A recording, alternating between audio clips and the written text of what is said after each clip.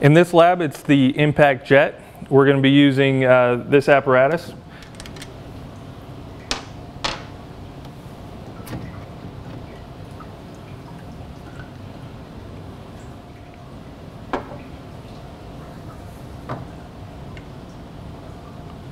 All right, this is the 45 degree uh, impact. You'll want to turn it and get it to where it's snug. Once again, this does not need to be extremely tight. Also, before I put the top on, right here is the nozzle. This just unscrews like the like the uh, like the tips do. You want to make sure that you got the the five millimeter tip on to begin with. Once you have the tip on, you'll just make sure to reinstall the, the cap. Make sure to put the thumb screws back on it.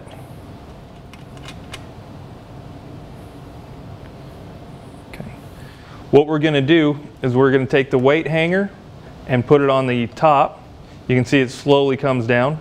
What you want to do is you want to get the distance between the nozzle and the stop and we're going to add weight until we're about at the halfway point. So with nothing on it right now, we're going to add some weights, get it about at the halfway point, and then make sure to line the flag up to where the center of the notch is about at the center of the, uh, of the holder. Okay. What we're going to do now is you'll want to make sure, again, to measure the distance between the nozzle and the stop, uh, and the platform actually, to, uh, to see what it is. What we'll do next is we'll turn the water on. right here we've got the emergency stop, which is this button right here. Uh, what you're going to do is you'll pull it out with the twist and it actually starts the pump. You'll see that the light comes on. This is your control valve and when you open it up you'll see the flow start coming in.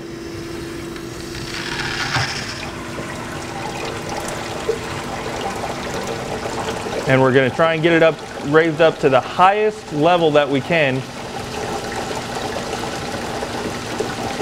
where it's still readable. And as what I mean by readable is that it, it's not pushed up to the point where it bottoms out, where it still has some, some bounce to it. And as you can see right here, we're basically leveled out because it's, the water is not able to push it up any higher. We've got our weight, which is 300 grams, and then we've got our flow reading right here. Next thing that we'll want to do is we'll want to add weight to get it back down to our initial starting position.